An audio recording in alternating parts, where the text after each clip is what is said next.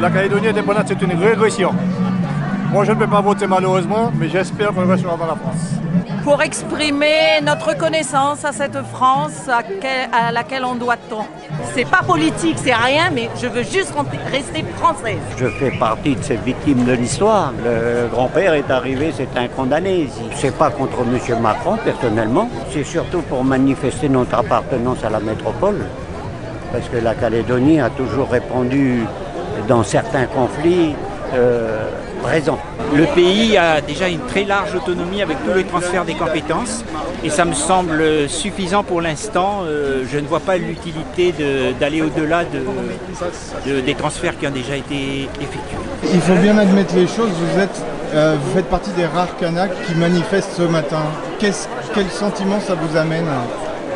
Alors un, sentiment, pourquoi? Parce que je dirais pourquoi je manifeste, parce que pour garder la France, pour nous, la France euh, est notre garant, va garantir nos droits et nos libertés. Nous sommes là quelques Kanaks, mais il y a une grande majorité de Kanaks qui sont conscients, au fond des tribus, que sans la France, nous allons vers l'inconnu.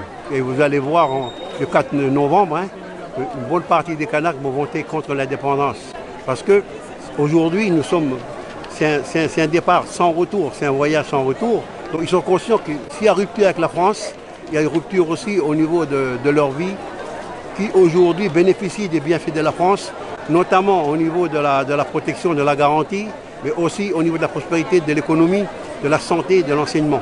C'est pour cela que les Kanaks seront le premier perdant si nous- demain nous partons vers l'indépendance. les leaders indépendantistes, ils parlent d'indépendance devant leurs sympathisants et voilà.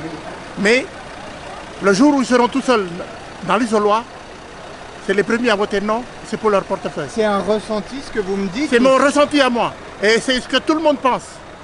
Voilà.